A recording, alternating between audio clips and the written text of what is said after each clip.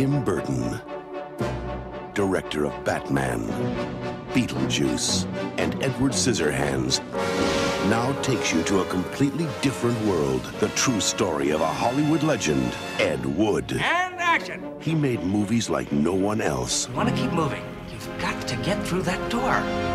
Ah, that was perfect.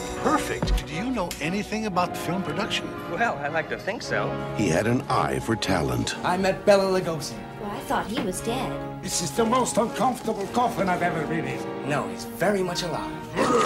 You flying saucer? He had a passion for storytelling. Get me transvestites. I need transvestites. You're flashy. They want that.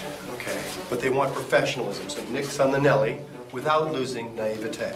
What kind of a movie is this? It's science fiction. A heartbreaking romance. Grave robbers from outer space. Grave robbers from what? And he had a secret he couldn't hide. I like to dress in women's clothing. Panties, sweaters, pumps. It's just something I do. You don't like sex with girls? No, I love sex with girls. Wearing their clothes makes me feel closer to them. How can you act so casual when you're dressed like that? All right, everybody, let's finish this picture. Touchstone Pictures presents Johnny Depp, Martin Landau, Sarah Jessica Parker, Patricia Arquette, and Bill Murray in the true story Give him a hand. Keep rolling.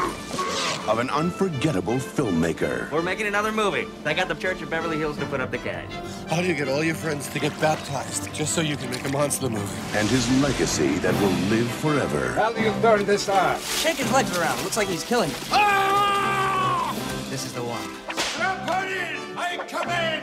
This is the one I'll be remembered for. Ed Wood, a Tim Burton film. Really? Worst film you ever saw? Well, my next one will be better. Hello?